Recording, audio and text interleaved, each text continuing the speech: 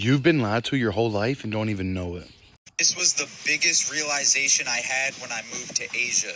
We Okay. were bred to be absolute fucking slaves. Everything you do is in the best interest of massive corporations and the government's control over you.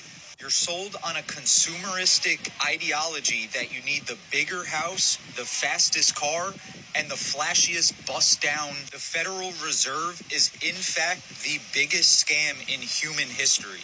And you're told that happiness is only attainable if it's bought. People out here don't have shit, but they're happier than you will ever be. You literally have the option to be here right now, but instead you fell for the trap to sit in a cubicle thinking that one day that will allow you to get here. It's the most genius trap to make the wealthy wealthier and the poorer poorer. As soon as we stop participating in this fucking rat race, watch how the Escape it elites when you can. shit their pants when the cash flow weird. stops.